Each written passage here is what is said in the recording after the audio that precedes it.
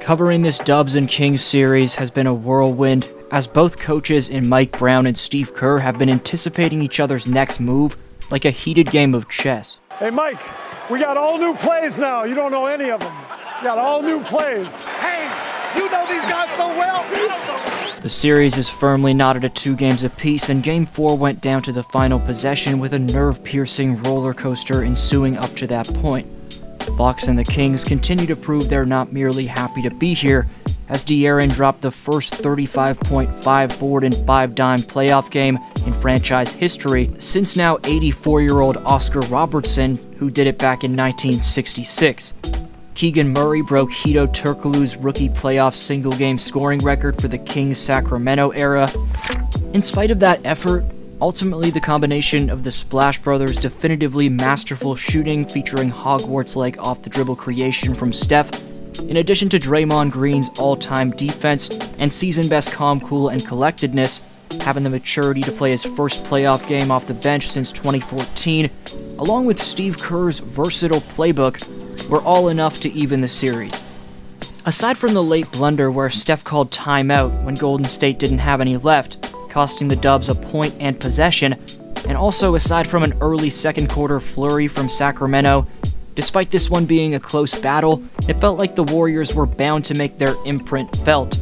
The clutchness of Foxy nearly put that narrative to sleep, though, but prior to that, we saw the ultimate battle ensue between debatably the two best coaches the NBA has to offer. Steph Curry definitely stumbled into a Chris Webber type moment by calling an illegal timeout, but for the most part, the execution from both teams was some of the best you'll see play out in a basketball game. We'll start with this ATO, where Jordan sets the UCLA screen for Andrew, Steph fakes the pass to Wiggs, then it turns into a zipper loop set where JP cuts to the corner where he gets a flare from Draymond.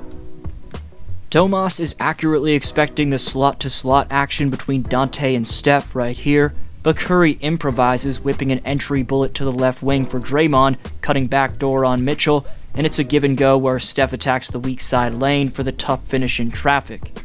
This weak side flare pop action sees Steph set the pick instead of the typical screener in this action and Dre do it, who Barnes is expecting to slip to the hoop, and Dre gets a wide open corner spot up. It's a pretty big luxury for Kerr when he can get individual transition mastery from the greatest shooter ever to mix up those half court sets.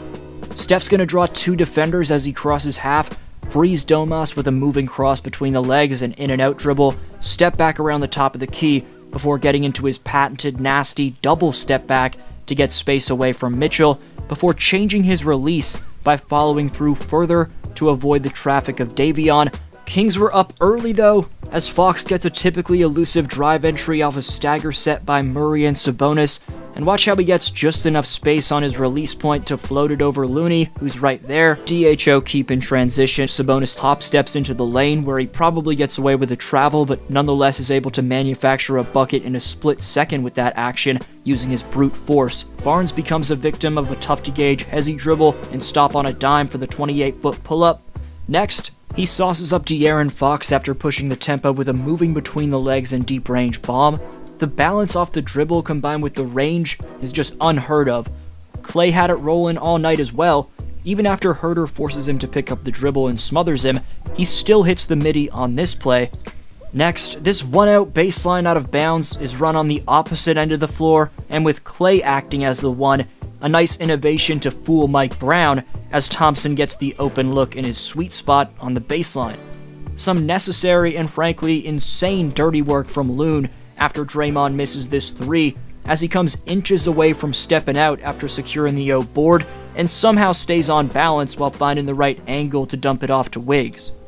All series, we've seen DHOs, fake dribble handoffs, keep action DHOs like we saw earlier, all from Sabonis, but Draymond gives him a taste of his own medicine right here after Andrew swings it to the weak side corner. The Dubs seem to be starting a 5 out handoff action, but Dre hangs onto it, selling the pitch perfectly, opening up the lane for the one handed hammer. From there, Wiggins and Poole would have a big time surge in the late third quarter as Wiggs pulled off a dream shake and hit a three pointer on consecutive possessions. I find it amazing the flow that Andrews established after missing such an extended amount of time and how he's come back right for the playoffs and has adjusted seamlessly to the speed and intensity of it. After those couple buckets from Wiggs, JP would then get consecutive lay-ins. This 5-out kick and relocate set where Green seems to be coming up for the on-ball sees him instead set a flare as Steph throws it to Poole, but the Kings seem to have sought out the action, which is for DiVincenzo to set a cross screen for Steph in the corner, so Poole reacts by finding DiVincenzo, who drives and kicks it back to Poole as Steph cuts out to the right wing. Then Poole swings it to the left corner for Thompson, who hits the buzzer-beating triple. Curry would continue his wizardry by hitting consecutive threes and taking over in the fourth quarter in general. Jordan Poole was big time all night, as it was his best game of the series by far.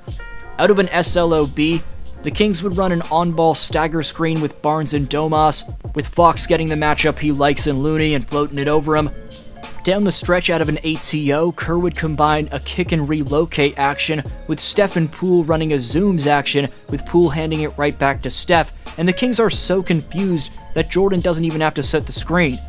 Up two in the clutch, the Warriors go to their floppy action with Klay getting just enough room after a wild closeout from Monk. Green would rack up a game saving play where he first blocks Harrison Barnes, then, as it deflects to Sabonis, he stuffs Domas. Just an outstanding defensive performance from Green in this one. It's nights like these where you see why De'Aaron Fox and many others, including myself, consistently call him the best defensive anchor in basketball. So much for those saying Green is washed. Green was the enforcer that he's paid to be all night, especially when the Warriors needed it most. Stephen Curry, Draymond Green, and Klay Thompson have won 94 playoff games together throughout the years, which is third most by a trio in NBA postseason history. They only trail Duncan, Parker, and Ginobili, along with Kareem, Magic, and Cooper. This series is going to come down to how these three lead their troops on the road, a setting they've mightily struggled to perform in all season. On the road, the whistle is inevitably against you, no matter if you're the defending champs or not, so it'll be thrilling to see if the Dubs can finally show up in said hostile environment. The return of Andrew Wiggins has been vital, as Draymond was right on the mark when he said on his podcast that the Warriors are different with my fellow Torontonian.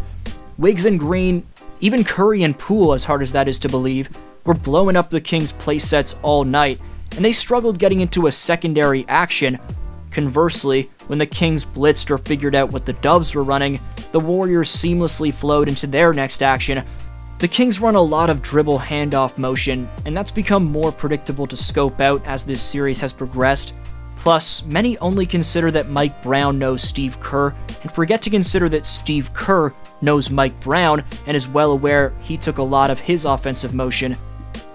Going back to the value of Wiggs, and when Andrew is matched up with the Kings' top player De'Aaron Fox over four games in this series, he's held him to 28 points on 29 shots.